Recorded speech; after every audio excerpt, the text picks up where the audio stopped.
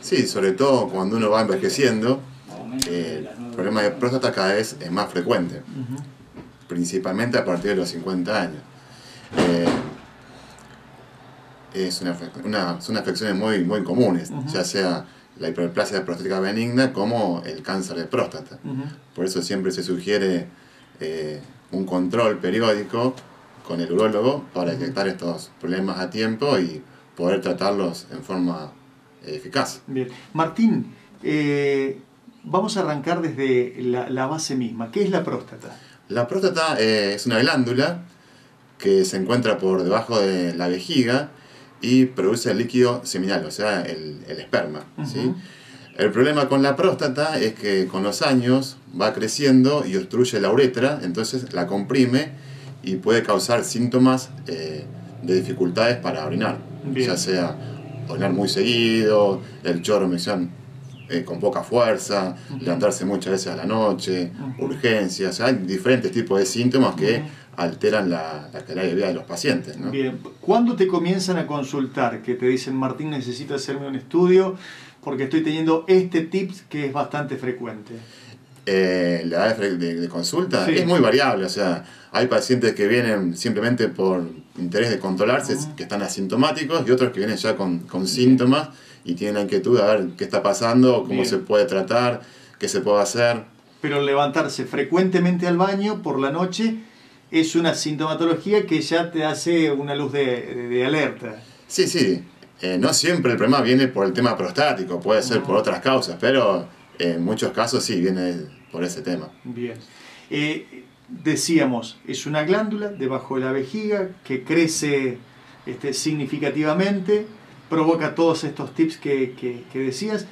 ¿Y hay tratamientos farmacológicos o hay tratamientos quirúrgicos? O, sí, sí, hay muchos tratamientos. O sea, cuando viene el paciente uno lo interroga, hace unas, unas preguntas, también hacemos un examen físico bueno, y estudios para eh, diagnosticar esta, esta, enfermedad, que es de causa benigna. La hiperplasia prostática justamente es benigna.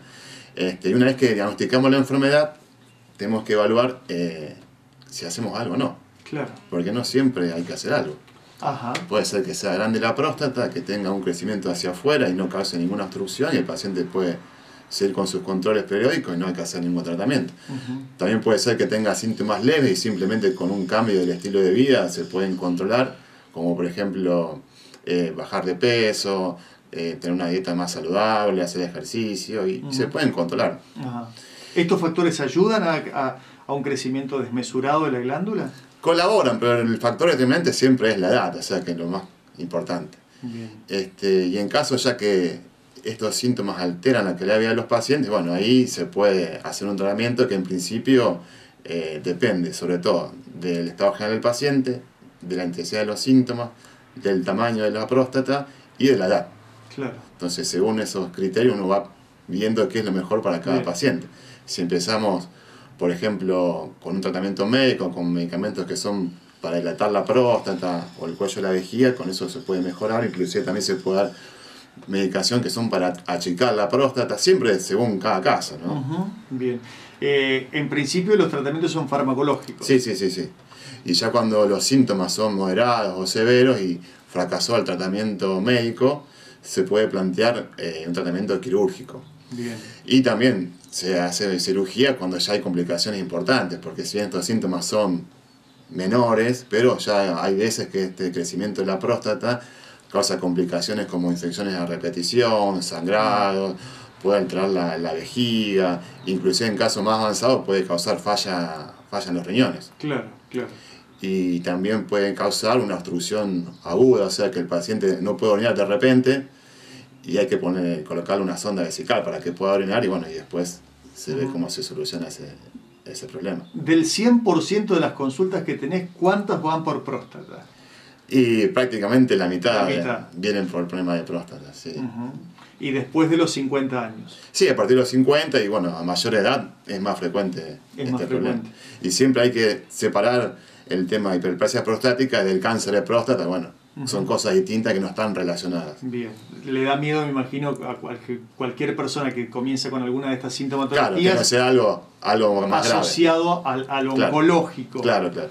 Bien, y esa disperplasia me dijiste que se llama hiperplasia Hi- prostática. Hiperplasia, digamos, tiene tratamiento farmacológico o quirúrgico. O sí, quirúrgico. Sí, o sí. quirúrgico. Eh, y, y los hombres somos rápidamente de ir al médico ante estas situaciones o somos más este, Sí, sí, de- cada de vez más. ¿eh? Cada, cada vez hay más consultas, sí. ¿Y, los tratamientos se fueron innovando en los últimos años, Martín? Sí, sí, sobre todo el tema de cirugía, sí, hay mucha, muchos avances tecnológicos. Hoy en día la cirugía de referencia, o sea, el gol estándar es la RTV de próstata por vaporización o bipolar, que una cirugía, como dice su nombre, uno ingresa por la uretra y se opera la próstata, una cirugía mini invasiva, La uretra es el el canal de conducto por conducto donde de uno una orina, orina. sí. Y se pueden operar prácticamente la mayoría de las próstatas por ese método. Y están internados un día o dos días. ¿no? Ujú. Y en caso de próstatas muy grandes, que cada vez son menos porque el paciente viene antes de la consulta o por estos métodos, bueno, se sigue haciendo la cirugía abierta convencional. Claro. Pero siempre hay innova- innovaciones. Por ejemplo, este año hay un método que es muy, muy novedoso, que está muy bueno porque eh, se puede hacer inclusive la cirugía ambulatoria de próstata Ajá, con una sedación anestésica. ajá. Eh, el equipo es muy barato, pero tiene descartables muy caros. Pero como todo método nuevo que se va Es costoso. Es costoso al principio, pero cada unos años ya ¿Y la- la anestesia es total? No, no, con sedación anestésica. Uno entra con una camarita y hace una inyección de vapor de agua y por radiofrecuencia se va rompiendo el tejido prostático, se va muriendo y así se opera la próstata y el paciente ingresa al quirófano, va un par de horas a la habitación y se va a la casa. Qué y ya se maravilla. operó la próstata. Qué maravilla. Pero ya es algo que está llegando, digamos.